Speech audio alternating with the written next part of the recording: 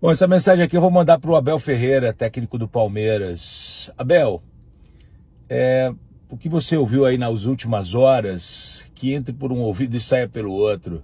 Porque o objetivo é desestabilizar, o objetivo é te irritar, o objetivo é fazer com que você pegue suas coisas e vá embora daqui. O problema não é você. O problema é o cargo que você ocupa. Você é técnico do Palmeiras e, consequentemente, você vai receber essas críticas. E ser um técnico do Palmeiras vencedor ih, provoca transtornos absurdos.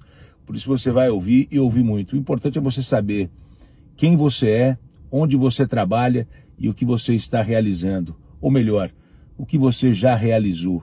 Você já escreveu o teu nome na história de um dos maiores clubes do Brasil. Então, fique tranquilo, Abel. As críticas vão vir, os ataques pessoais também virão, mas você é um cara que em pouquíssimo tempo conquistou mais títulos do que muitos clubes têm de história.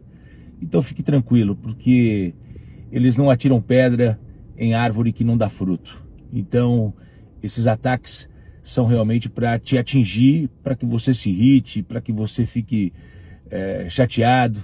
Mas a torcida do Palmeiras tem você nos braços e isso é o que importa. Quinta-feira, quinta-feira a gente vai estar lá gritando Abel Ferreira, o técnico do Palmeiras, o maior de todos os tempos. Valeu, um abraço.